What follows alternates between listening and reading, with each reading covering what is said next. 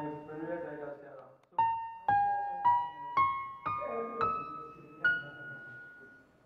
Buddha himself believed that the Dhamma itself is very delicate and very profound, compassionate, or to be uh, of uh, metta, uh, uh, of uh, loving kindness. So here, one mind includes good and bad, uh, and samsara and nirvana are in one mind.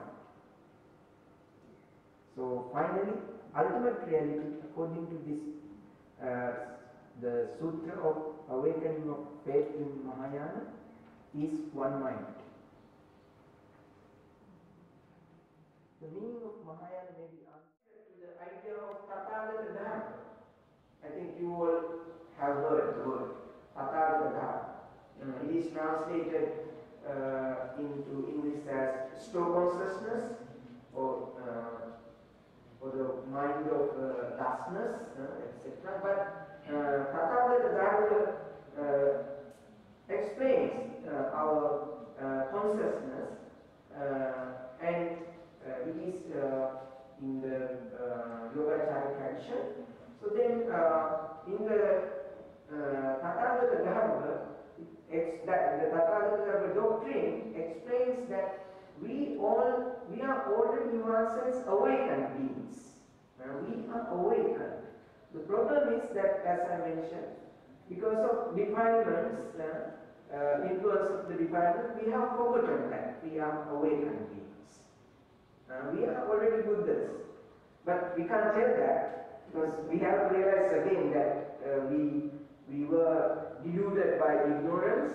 So then we have to remove that uh, of ignorance, uh, uh, how to say, recover or uh, find our true nature uh, of uh, uh, our existence. So then Tathagatagarbha has the two potential. It means all the seeds. Tathagatagarbha has all the seeds, good side and bad followers. So then he said he sent a mission with some ministers.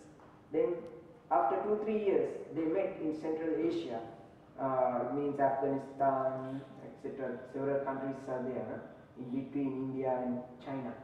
So uh, then uh, two masters, Kashyapa Matanga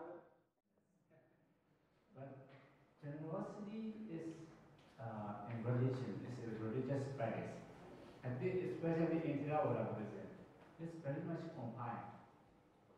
you know, because So, generosity with many sections. Uh, for example, There are so much advantages in generosity. Likewise, there's also side effects in generosity. So Um, on the road, we see some of the kids uh, begging uh, to the people. So they are generosity connected with other, I think, uh, principle, such as compassion